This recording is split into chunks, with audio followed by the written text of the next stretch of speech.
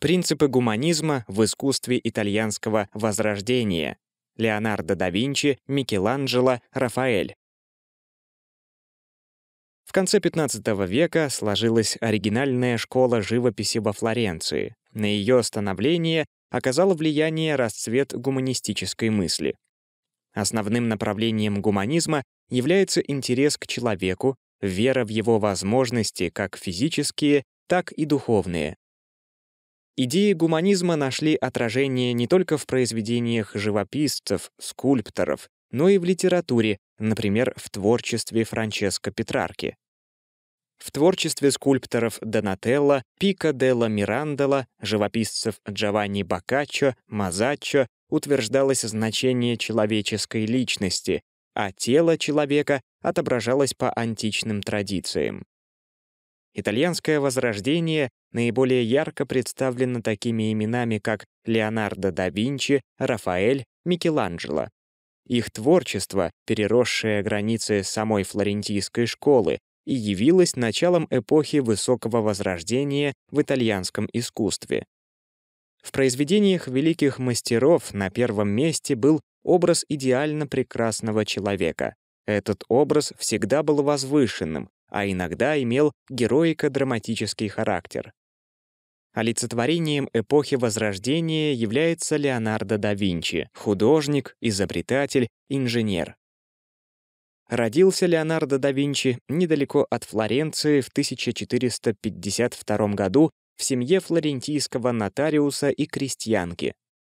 Свои детские годы Леонардо провел с матерью, так как отец вскоре женился на знатной девушке. В браке у отца больше не было детей, поэтому он взял сына в новую семью.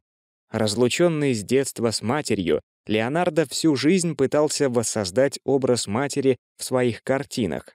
Воспитываясь в доме отца, образованного человека, будущий гений получил отличное образование, был обучен письму, чтению и счету. Отец пытался приобщить сына к семейной профессии, но Леонардо не интересовали законы. Со слов знаменитого биографа Джорджа Вазари о ранних годах жизни Леонардо да Винчи.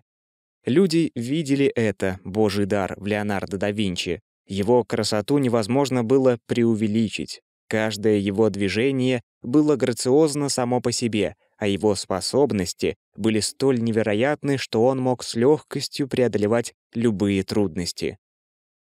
Его сила была такова, добавляет Вазари, что правой рукой он мог согнуть дверную колотушку или подкову, как будто они были из свинца. О характере Леонардо да Винчи Вазари говорит следующее. «Мужество и высота духа поистине королевские, и хотя до нашего времени так доподлинно и неизвестно ни одного портрета Леонардо в молодости, судя по описаниям, он был высок, хорошо сложен, темноволос. Сочетание занятий музыкой и изобразительным искусством было очень распространено в эпоху Возрождения, поэтому неудивительно, что Леонардо да Винчи, со слов Вазари, мог петь и божественно импровизировал на лире. Умение Леонардо вести беседу привлекало к нему все сердца, и хотя собственностью он не обладал никакой и работал немного, все же он держал слуг, а также лошадей, которым всегда был неравнодушен. Воистину он любил всех животных. Часто проходя мимо рынка, на котором продавали птиц, он возвращал пленницам утраченную свободу, выпуская их всех из корзин, а торговцу платил запрашиваемую цену. Очень любил Леонардо да Винчи различные затеи и розыгрыши. Когда Леонардо исполнилось 15 лет, его отдали в подмастерье, то есть ученики, к художнику Верокьо во Флоренции. В обязанности подмастерья входило, как правило, растирание красок и различная черновая работа. С течением времени ученик овладевал мастерством, накапливал опыт и ему начинали доверять простейшую часть работы в заказах, которые получал художник. В скором времени Леонардо своими способностями превзошел самого мастера. Верокьо получил заказ написать картину «Крещение Христа». Мастер поручил Леонардо, своему ученику, написать одного из ангелов на картине. Два ангела, написанные мастером и учеником, оказались разными по мастерству и технике исполнения. Ученик превзошел своего учителя. Пораженный талантом Леонардо, Верокьо оставил живопись навсегда, а Леонардо в возрасте 20 лет получил квалификацию мастера и стал писать картины на заказ. В 1482 году да Винчи переехал из Флоренции в Милан, чтобы завоевать расположение к себе правителя Милана Лодовика Сфорца, он написал ему письмо, в котором представлял себя как военного эксперта, изложил свои идеи по изобретению нового оружия. «У меня есть планы мостов», — писал он, «очень легких и прочных, весьма пригодных к переносу. Я нашел способы, как разрушить любую крепость или какое-либо другое укрепление, если, конечно, оно не построено на скале. У меня есть также чертежи для изготовления пушек, очень удобных и легких в транспортировке, с помощью которых можно разбрасывать маленькие камни наподобие града. Я знаю, как добраться в определенное место через пещеры по секретным путям безо всякого шума, даже если для этого придется проходить узкими траншеями или под рекой. Я могу делать закрытые колесницы, безопасные и неприступные, которые со своей артиллерией врываются во вражеский строй, и ни один человек не сможет им противостоять. Я могу создать такую пушку, мортиру или другое артиллерийское орудие, что оно будет выгодно отличаться от тех, которые обычно используются. Я могу создать катапульту, баллисту или другую машину удивительной силы. В письме Леонардо также отмечает, что он очень искусен в живописи и скульптуре и что может сотворить конную статую, которую Сфорца в то время как раз задумал. Во времена Возрождения для художников было совершенно естественно заниматься оружием. Человек, способный нарисовать и отлить бронзовую статую, с тем же успехом мог отлить и пушку. Создание защитных сооружений было делом архитектора, он мог с такой же легкостью взяться за строительство башен и бастионов, как и за строительство дворцов. Свои идеи Леонардо черпал из различных источников, переосмысливал и во многом совершенствовал чужие проекты. Его закрытые колесницы, безопасные и неприступные, имели более простые прототипы еще в римские времена. Это были колесные конструкции, которые несли тяжелые деревянные щиты, предназначенные для взятия городских стен. Они также прикрывали воинов, которые действовали тараном. Леонардо значительно доработал эту идею и превратил колесницу в вооруженную повозку, прикрытую панцирем, так сказать, прообраз танка, Повозка была снабжена пушкой, управлялась вся конструкция изнутри восемью воинами. Для управления использовались рычаги и приводы. Конечно, сомнительно, что вся эта тяжелая конструкция могла управляться только силой человеческих мускулов, особенно на значительное расстояние по неровной или скользкой местности. Но в этом, как и во многих других своих изобретениях, Леонардо был увлечен скорее идеей, нежели воплощением. Создав эскиз танка, он немедленно взялся за разработку других идей, оставив на потом решение вопроса о движущей силе машины. Из книг он почерпнул также идею колесницы, снабженной косами, и усовершенствовал ее, создав механизм, вращающий лезвие горизонтально. Он оставил леденящий душу рисунок этой колесницы в действии, но сделал пометку, что подобные колесницы принесут больший вред тем, кто их использует, нежели тем, против кого они направлены. Среди его артиллерийских орудий необычного типа следует назвать пушку с 36 стволами, которые собраны в три яруса по 12 в каждом. Принцип действия прост. Пока один ярус стреляет, другой охлаждается, а третий заряжается. Такая многоствольная пушка стала предшественницей современного автоматического ружья и ракетной установки. Леонардо также принадлежит эскиз корпуса снаряда, который взрывается при ударе и рассеивает вокруг куски металла. Леонардо интересовали также проблемы полета. Он очень хотел построить летательный аппарат и помочь человечеству осуществить мечту — обрести крылья, Кто знает все, тот может все. Только бы узнать, и крылья будут, говорил он. Его идеи аэроплана и парашюта были вполне пригодны для полета, однако несовершенство материалов его эпохи не позволили их реализовать. Леонардо да Винчи интересовался не только работой машин, но и работой человеческого тела. Очевидно, некоторый опыт в изучении анатомии он получил во Флоренции, где посещал анатомический театр. Анатомией художники Возрождения интересовались прежде всего для правильного представления о человеческом теле и отображения его в своих произведениях. Всю свою жизнь Леонардо делал наброски, рисунки, заметки, посвященные анатомии. Эти работы стали известны намного позже и, по оценкам ученых, обогнали научную анатомическую мысль на 300 лет вперед. В последние годы пребывания у Сфорца Леонардо да Винчи значительную часть своего времени уделял математике, доказательству своих теорий. Свои последние годы жизни Леонардо да Винчи провел вдали от родины, во Франции, в одиночестве.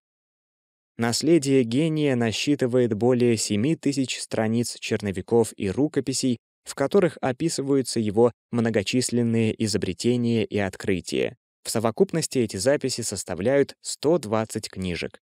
Удивительно то, что большинство записей сделаны тайнописью, зеркальным почерком, то есть написаны справа налево в зеркальном отражении. И хотя живопись в жизни Леонардо была предпочтительнее всем другим занятиям, после его смерти осталось лишь несколько картин. Дело в том, что над своими картинами художник работал очень медленно. Например, фреску «Тайная вечеря» он писал 16 лет. Имя Леонардо да Винчи ассоциирует с портретом Моны Лизы дель Джаконда. К сожалению, многие из идей Леонардо да Винчи не были реализованы при жизни и были забыты. Но все равно Леонардо да Винчи остается в глазах человечества гением, в одиночку заложившим фундамент современного инженерного знания. Еще одним величайшим деятелем эпохи Возрождения был Микеланджело Буонаротти, современник Леонардо да Винчи. Для Микеланджело первым из искусств была скульптура, хотя он был выдающимся живописцем, архитектором и поэтом. Именно скульптура, по его мнению, могла передать красоту человека. Еще при жизни Микеланджело приобрел славу искуснейшего творца. Однажды ему сообщили о прекрасном мраморе, лежащем во дворе одного из флорентийских соборов. Над этим камнем поработало множество скульпторов, основательно его испортив. Церковные власти махнули на все рукой, и глыба продолжала стоять в таком виде еще долгие годы, пока не была отдана великому скульптору.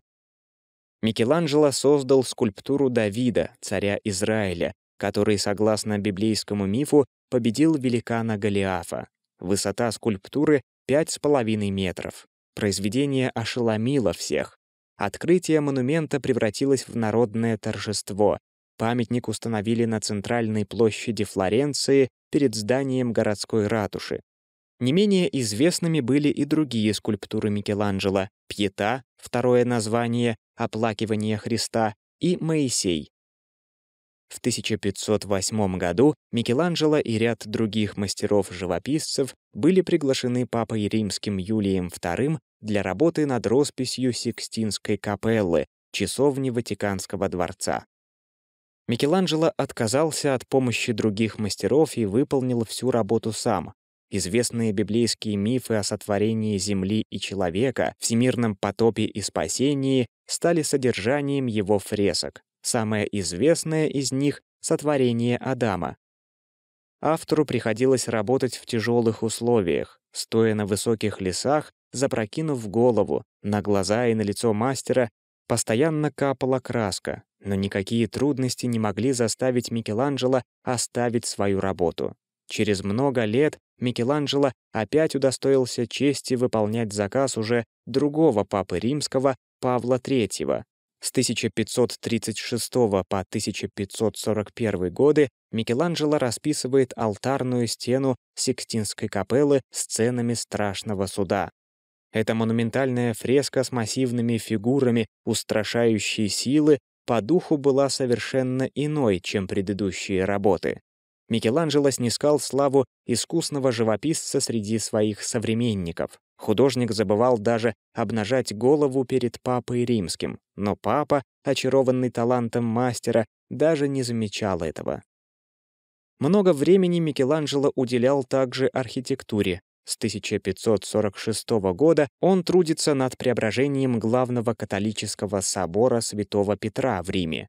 Микеланджело работает над проектом купола католической святыни. Малоизвестным фактом биографии Микеланджело является его увлечение поэзией. Как и многие современники-гуманисты, Микеланджело писал в основном сонеты, которые стали известны лишь через сто лет после его смерти. Еще одним великим итальянцем эпохи Возрождения был живописец Рафаэль Санти. Долгое время он жил во Флоренции, и становление его мастерства прошло под влиянием творчества Леонардо да Винчи и Микеланджело, технику живописи которых он тщательно изучал. Многие картины, на которых изображена Мадонна с младенцем на руках, относятся именно к этому периоду жизни и творчества художника во Флоренции. Все Мадонны по-своему индивидуальны и отличаются особой материнской красотой. Такое направление творчества объясняется потерей матери в раннем детстве. В 1508 году Рафаэль, как и Микеланджело, был приглашен в Ватикан папой римским Юлием II для почетного заказа росписи парадных залов Ватикана.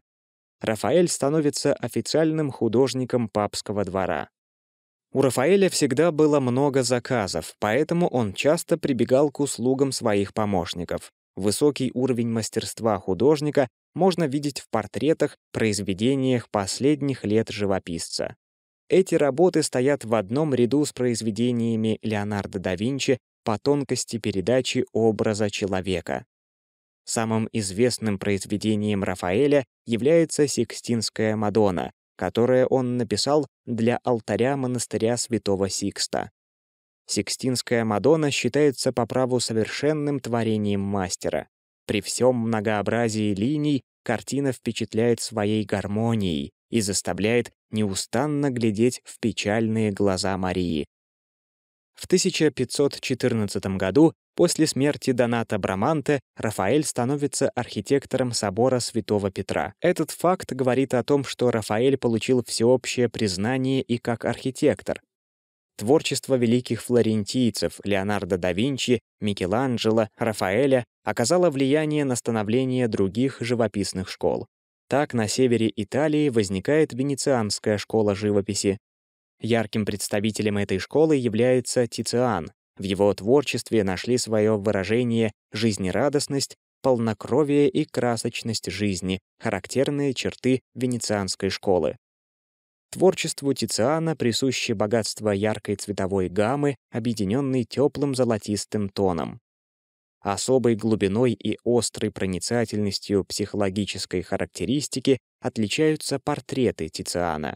Славу живописцу принесли женские образы, которые прославляют физическую красоту и душевное здоровье. Вклад великих итальянцев, художников Возрождения, невозможно оценить. Этот вклад огромен и является бесценным кладом сокровищницы мировой культуры.